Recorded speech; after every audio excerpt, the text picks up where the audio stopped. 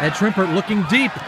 First play of the second half. He finds a man all, all by himself.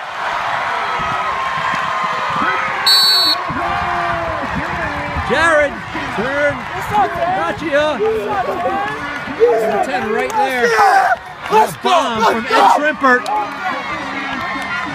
And just like that, at 16-7, Hillsborough first play of the second half from scrimmage. Ed Trimpert, Jared Senerchia, 67 yards later, Hillsborough leads 16 to 7 here at Noonan Field in Hillsborough. Extra point coming up.